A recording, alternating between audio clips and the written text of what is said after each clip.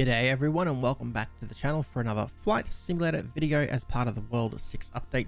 We'll be checking out the second new Discovery uh, flight, that being Berlin, Germany. Uh, we just checked out Switzerland in another video, depending on which order you have watched these in. So looking forward to taking you through Berlin, Germany now as part of the World 6 update.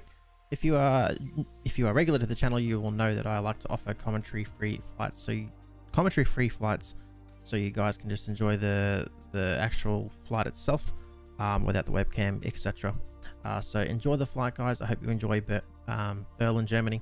Let me know your thoughts on the update so far in the comments below and enjoy the flight